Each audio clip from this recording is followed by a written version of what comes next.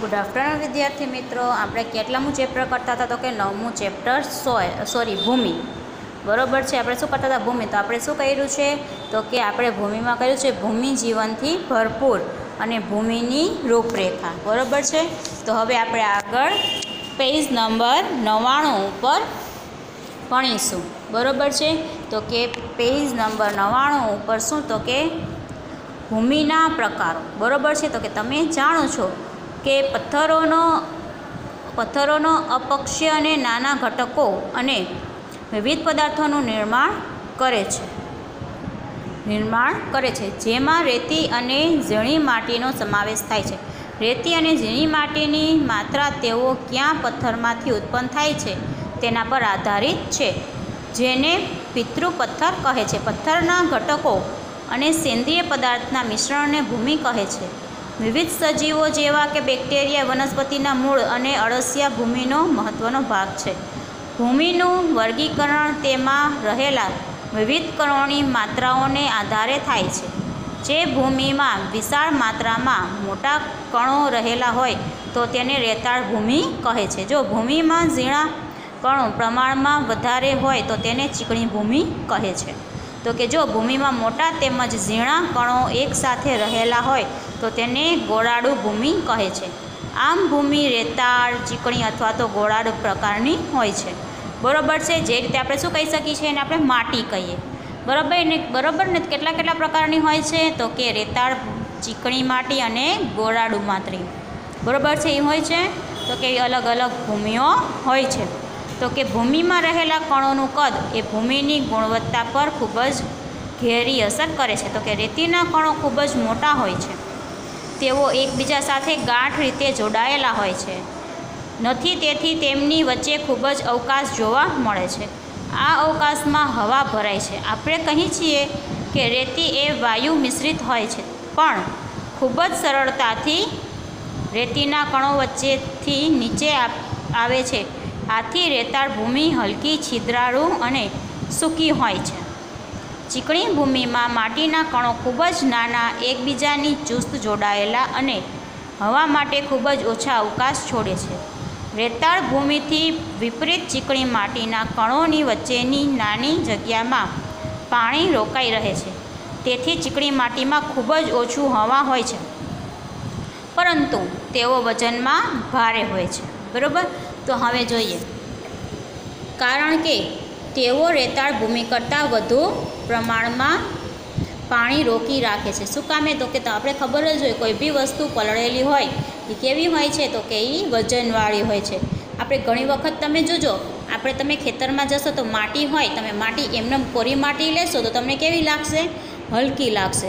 પણ તમે એને ભીની કરી દેશો, બરાબર? પછી કોઈ બી એવું હોય તો પ્લાસ્ટિકની કોથળી લો, કોઈ બી વાસણ લો, એમાં તમે ઉપાડજો તો તમને કેવી લાગશે? તો કે વજનવાળી લાગશે. બરાબર છે? તો હવે કે છે, વનસ્પતિની વૃદ્ધિ માટે ગોળાડુ ભૂમિ એ સૌથી શ્રેષ્ઠ છે. ગોળાડુ ભૂમિ એ રેતી માટી અને અન્ય પ્રકારના ભૂમિમાં કણની બનેલી હોય છે, જે કાંપ કહે છે. નદીના કાંઠા ઉપર કાંપ એકત્ર થાય છે. કાંપના કણનું કદ રેતી અને માટીના કણના કદની વચ્ચેનું હોય છે. તો કે ગોળાડુ ભૂમિમાં પણ કણ જોવા મળે છે.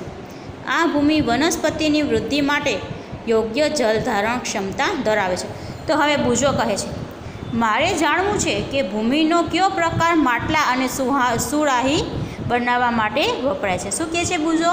કે કઈ માટી એવી છે કે જેના આપણે માટલા બનાવી શકીએ છીએ અને સુરાહી બનાવી શકીએ છીએ? તો આપણે જોઈએ પ્રવૃત્તિ નંગ પોઈન્ટ ત્રણ તો કે માટીવાળી ગોળાડુ અને રેતાળ ભૂમિના નમૂના એકઠા કરો. આ નમૂનામાંથી એકાદ પ્રકારની ભૂમિ મુઠ્ઠી ભરીને લો. તેમાંથી પથ્થર, કાંકરા કે ઘાસ વગેરે દૂર કરો. હવે તેમાંથી ટીપું ટીપું પાણી નાખીને ગૂંદો. હવે બસું કીધું? તો કે ટીપું ટીપું પાણી નાખીને ગૂંદો. ગૂંદો એટલે કે આપણે કેમ મસળતા હોય, આપણે લોટ બાંધીએ, લોટ મસળીએ એ રીતે શું કરવાનું છે? માટી પણ થોડું ટીપું ટીપું એટલે થોડું થોડું પાણી નાખીને મસળવાની છે. તો કે એટલા પ્રમાણમાં પાણી નાખો કે જેથી માટીનો ડડો બનાવી શકાય. તમે ખબર જ હશે કે આપણે માટીમાંથી રમકડા વગેરે આપણે બનાવી શકીએ છીએ. તો ઘણી વખત એવું થતું હોય છે, આપણા ઘર પાસે પાણી ઢોળાણું હોય, વરસાદ આવ્યો હોય, તો શું કહે છે, અમુક અમુક માટી લઈને આપણે શું બનાવતા હોય છે, રમકડા કે એવું બનાવતા હોય છે.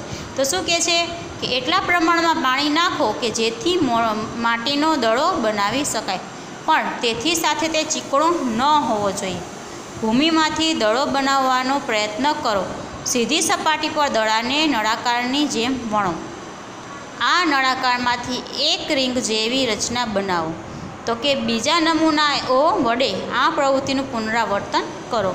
શું માટીના નમૂના આકાર પરથી તેમાં પ્રકાર જાણી શકાય છે? તો કે હા, જાણી શકીએ કારણ કે જો ગોરાડું માટી હોય, છે એ કેવી હોય છે? ખેતરમાં વપરાતી હોય તો એ ચીકણી માટી હોય. તો એ ચીકણી માટી હોય તો શું થાય છે? તો કે ચીકણી માટીથી તમે બનાવી શકો. પણ રેતાળ રેતાળ માટીમાં શું હોય છે? રેટા રેતી હોય. તો રેતીથી આપણે બનાવી શકીએ તો કે ન બનાવી શકીએ. બરાબર? તો હવે જુઓ. શું કહે છે જો આમાં આપ્યા છે? કે શું તમે જાણી શકો છો કે કયા પ્રકારની માટી કુંડા, રમકડા કે મૂર્તિ બનાવવામાં કામ આવી શકે? તો કે હા. તો કે આપણે જાણી શકીએ છીએ. કઈ માટી કામ આવે છે? તો કે જે ઓલી આગળ શું હતું? ગરુડાર માટી હતી તે. ગરો ગોરોડા માટી જે હોય તે. હવે કે છે ભૂમિના ગુણધર્મો. બરાબર છે? ગુણધર્મો એટલે શું? કે એમાં જે ગુણ રહેલા હોય તે. તો કે તમે ભૂમિની ઉપયોગિતાની કેટલીક યાદી બનાવેલી છે. ચાલો ભૂમિની કેટલીક લાક્ષણિકતાઓ શોધવા માટે પ્રવૃત્તિ કરીએ. તો હવે કે છે ભૂમિમાં પાણીનો અનુસરણ દર. તો કે બુજો અને પહેલી એક ઘરના ભોતરીએ અને એક કાચા રોડ પર પચાસ સેન્ટીમીટર ગુણ્યા પચાસ સેન્ટીમીટરના બે જુદા જુદા ચોરસ બનાવ્યા. તેમણે એક સરખા કદની બે માટલો ભરી તેમણે બંને જગ્યાઓ પર એક સરખા સમયે બોટલો ઠાલવી. તમ, તેમણે જોયું કે ઘરના તળિયા પર પાણી વહી ગયું અને શોષણ ન પામ્યું. બીજી તરફ કાચ કાચા રસ્તા પર પાણી શોષણ પામ્યું. બરાબર છે? તો હવે કે છે? બુજો કહે છે? બુઝાને આશ્ચર્ય થયું કે પાણીના શોષણ માટે દરેક ચોરસમાં તફાવત કેમ જોવા મળે છે? બરાબર છે જુઓ, હજી આપણે એકવાર આ ટોપિક જોઈએ. તો કે બુજો અને પહેલી ઘરના ભોતરિયા અને એક કાચા રોડ ઉપર. શું કીધું છે? ઘરના ભોતરિયામાં. ઘરના ભોતરિયામાં એટલે શું? કે જે આપણું નીચે જમીન હોય છે એમાં અને રોડ ઉપર. બરાબર છે? ભોતરિયામાં પાણી ન શોષાય, એનું કારણ છે કે એમાં તમારે શું હોય છે? તાપ કે એવું કશું લાગતું નથી આપણા ઘરમાં બહુ. અને કાચા રોડ ઉપર શું હોય છે? તાપ લાગે છે, એવું બધું હોય, એટલે પાણી કેમાં વયું જાય છે? તો કે જમીનમાં વયું જાય.